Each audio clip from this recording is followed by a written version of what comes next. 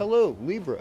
Welcome. Welcome to your horoscope. So, guess what? Everybody wants to be like Libra. I mean, no, really, when they've polled people, they've actually said, oh, I like Libra because they're so balanced. And now, astrologers who are, you know, there, there's some Libra astrologers out there. There's not a lot, but there are some. Um, they're oriented towards looking at Libra as sort of indecisive and dispassionate. You know, it's like they're waiting for the other person to show passion before they'll show it back. It's kind of tit for tat.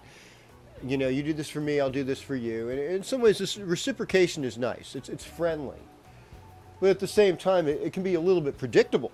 You could use a little bit of excitement. That's one of the um, curses of Venus is just things become boring or mundane. You get two Tauruses together, get two Libras together. They say it can be a very boring kind of relationship. Well, South Node and Uranus together in your seventh house means that there's this radical upsetting thing from the past that haunts your relationship at this moment and you're not really sure what it is. It's not necessarily your fault or anything. You want to fix things. You're hungry to fix things, but impulsively you just kind of want to get there first.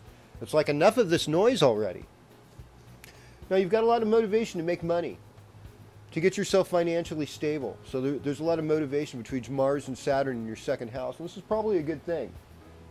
But you got a really busy social life with um, Venus and the Sun and Jupiter in the 11th house. So everybody wants to be your friend, like I said. You're, you're popular. But they don't realize the inner dilemma you are, and they also don't realize how manipulative you can be to getting your own way just by doing nice things for people. yeah, you know what I'm talking about now. I, I figured it, you know. And that's why we love you. Because you're not really an easy pushover. You play that, but you are firm with your own ideas of where you want to go. Enjoy it. Enjoy the party this week. Um, next week, you'll be working on your own personal karma.